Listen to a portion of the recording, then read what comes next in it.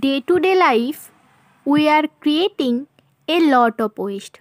But due to our cooperate life, we ignore the possible recycling matter and add them into our daily waste.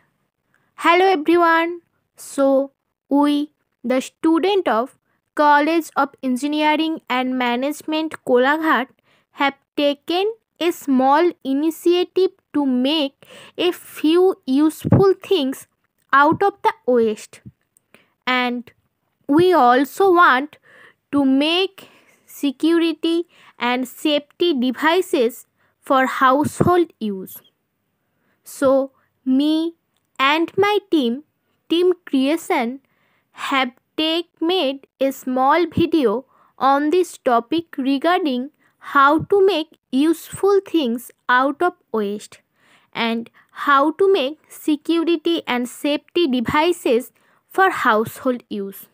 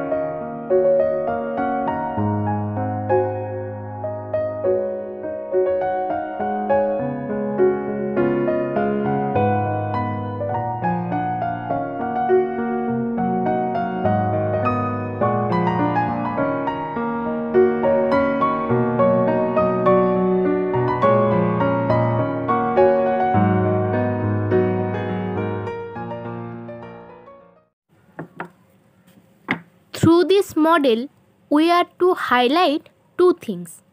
Firstly, generating electricity through solar plate by solar energy. And secondly, measuring the depth of water in the water tank by generating electricity with the help of batteries and using the sound as soon as the tank is filled with water to prevent excess water from being wasted.